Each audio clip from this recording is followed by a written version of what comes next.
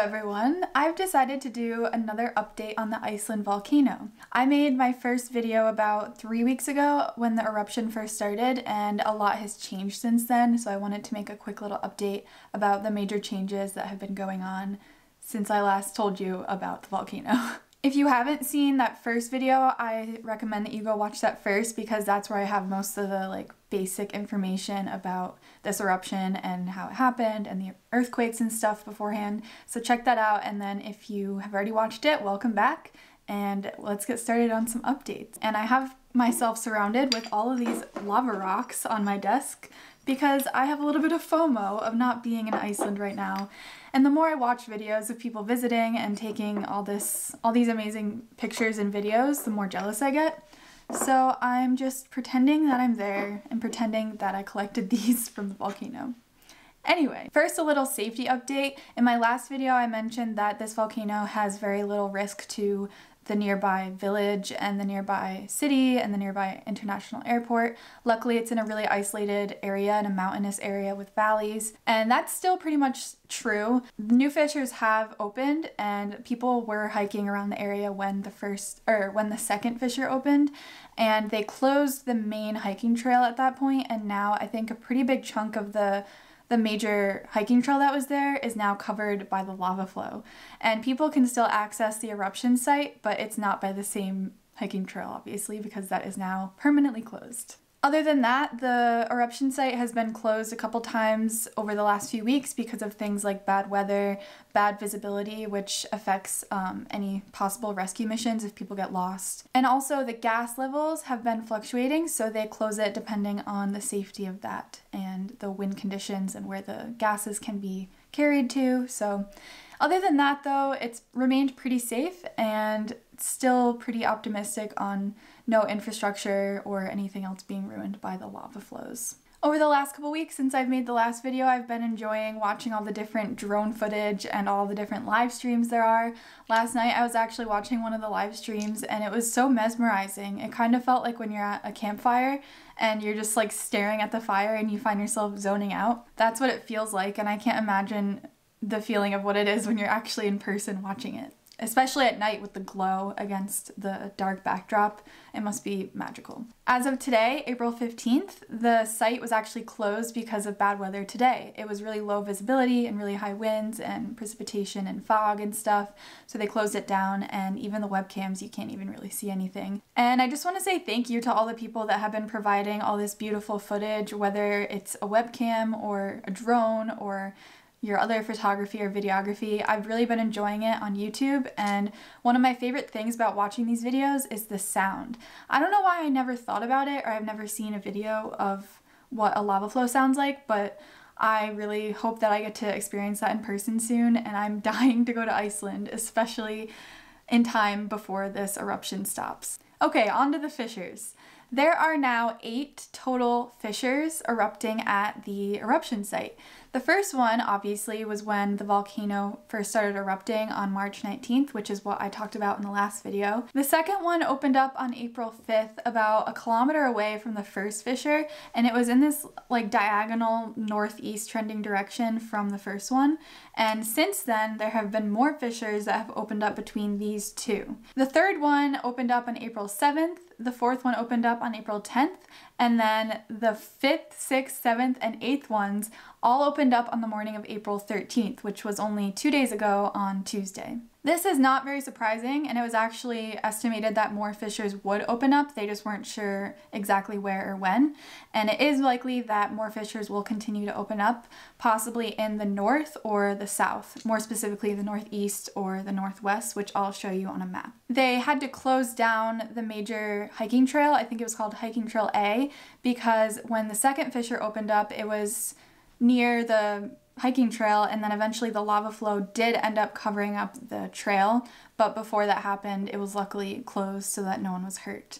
Luckily no one was hurt when these fissures opened up because um, scientists kind of know where the danger zones are and they tell people to stay out of those danger zones. After the second one did start to open, the area was completely evacuated just in case any more fissures continued to open up, but people have been allowed back there since then. The second one was 400 to 500 meters long, and it's also possible that these fissures might merge together and form one big crack, and we'll see what happens in the next couple days or couple weeks. Maybe I'll be back for yet another update and see how much has changed since this video. Once the second fissure opened, it was flowing at first into the same valley as the first one, Gelding Geldingadalir, but after a little while when it filled up that valley a little bit more, the lava river flowed into Meradalur, which is the valley that scientists estimated would be the next destination for the lava flows once the first valley filled up. And the photos and videos of this I am obsessed with because it's so cool watching the lava river flow down that slope and it forms this beautiful delta into the new valley. There are some really amazing resources online to look at if you can't be there in person, especially these 3D maps that I found that were made by the Institute of Natural Sciences in collaboration with Civil Defense and the National Land Survey of Iceland and the University of Iceland. These maps show what it's like at the eruption site. They show what it was like before the eruption, when the eruption first started, and then a couple dates in between then and now. So the first one all the way at the bottom is on March 7th, 2021. This was obviously before the eruption began. And you can see the valley, obviously, is not filled in with lava yet. And you can kind of see what the topography of the land looks like before any of these um, before any of these eruptions started changing the landscape and literally changing the map. And then when you go up from there, there's one from March 20th, the day after the eruption started. This is the first full day that the eruption began, and this is the Valley of Geldingadalir. And it's so cool. These pictures, um, these maps were created with photos taken from airplanes and turned into these 3D models by some great people at the Institute of Natural Sciences and uh, University of Iceland and all the other people that collaborated. You can also see from March 20th map the gas plumes, some of the gases floating out of the volcano. And up from there, we have one from March 23rd. This one is really pretty because it has a bunch of snow now from a snowstorm that happened. In this one, you can see the spatter cone building up a lot higher compared to when the eruption first began. And you can see the valley starting to fill up. This is pretty much when I made the video. Yeah, I'm pretty sure I made my first video about this eruption around the 23rd to the 25th, 27th maybe? I don't know. And then we have one from April 5th, which is the day that the second fissure opened. And this one is great because you can really visualize what it looks like of the, the topography there. You can see the first fissure, how the valley is pretty much full, and then you go over here and you see the second one starting to form this crack. And then you go over to April 8th and we have um, the valleys starting to fill up even more. And then this is where you see the lava river finally going down into Meradalur Valley over there. And it's really cool to see the the elevation and what it looks like um, in a 3D model. And April 12th is the most recent one. You see more fissures starting to open up. You see one, two, three, four. And this was the day before four more fissures opened up in between these. Um, it looks kind of similar to April 8th. Obviously, it's a little bit more full in both valleys. Um, yeah, it's pretty cool. I love these. I'm really glad that they made these. I'm excited to see if they make any more. I also just wanted to say something interesting about fissures and what it's like when they form. I've never seen one form personally, so I can't even tell you what it's like. But I was reading an article of a geologist saying they got to watch the second fissure open up, and they said it's not anything like you would expect where the earth just kind of like cracks open. Kind of like how you would picture it based on what you see in movies, the earth kind of just cracks open. But it's a little bit different. It's more like the lava seeps out of the ground and slowly pulls the crust apart. I would love to see that in person. I unfortunately couldn't find a video.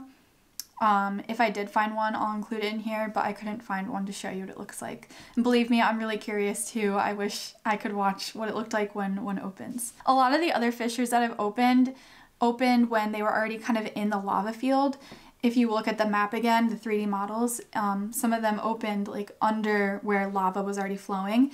And I saw in videos, it looks a lot like just like a, a bigger bubble coming up out of the already flowing lava and you can just tell there's more of a volume of lava coming out of this one spot and that's how people are able to kind of estimate where new fissures are beginning to form. Another thing I wanted to include in this update video is earthquakes because in my last one I said that there could possibly be more earthquakes if new fissures open up and this did happen. I believe that there were a decent amount of more small earthquakes, a couple more of those little seismic swarms before the new fissures started to open up. And we could see this again because, like I said, that, that Earth is being pulled apart as the magma moves up through the crust, causing that displacement and that shaking. So the volume of the lava flow has more or less stayed pretty constant throughout the eruption. It's been almost a month since the eruption began, and when the eruption started, the lava was going at about 5 cubic meters per second. On April 9th, I think sometime last week for maybe a day or two, the eruption actually kind of doubled in volume and the volume of lava coming out went up to like 8 cubic meters per second. But since then, I think it's gone back down to five and it's stayed around that value. And this is pretty consistent between each fissure, even though there are a decent amount of fissures open now because it's the same volcano, it's the same system. So it shouldn't be that different in between each one. As of April 13th, it's been estimated that the amount of lava that has poured out of all fissures combined is about 265 cubic million cubic million, 265 million cubic feet. That is a mouthful. And this is about seven, seven and a half cubic million meters. Seven and a half million cubic meters. Why is that so hard to say? This act this sounds like a lot, but I actually was watching a video from Reykjavik Grapevine, which has an amazing channel. Um, they said that this isn't really that comparable to even like the surface area of New York City. It wouldn't even cover New York City. So, I mean, New York City is kind of big, but in the grand scheme of things, that's really not that much lava, especially when you compare it to other eruptions on Iceland in the past and eruptions in Hawaii that are also effusive like this. Data given by the University of Iceland Institute of Earth Sciences said that the average thickness of the lava field is about 14 meters, but in the thicker areas it's about 20 to 30 meters. That's like 60 to 90 feet, I believe, for us Americans out there. And lastly, the question that I think everyone has at this point, after about a month, is there a name? Is there an official name for the eruption?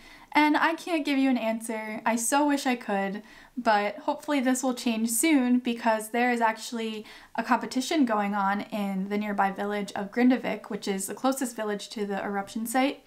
And they have um, a competition of someone that gets to name the eruption. And I think so far they've had 350 submissions. And they said that they've gotten some really clever and interesting names, so I'm excited to see what they pick. The competition, I think, officially stopped accepting submissions on April 9th, so maybe we'll be seeing an answer to this question very soon. And I will update you as soon as I know. so that's it for this update. I mainly wanted to talk about the fissures. I wanted to keep it pretty quick this time. I hope that this helped answer a few more of your questions and once again go check out the first video I made if you're still curious about some of the basics of the volcano. I hope you learned something and thanks for watching.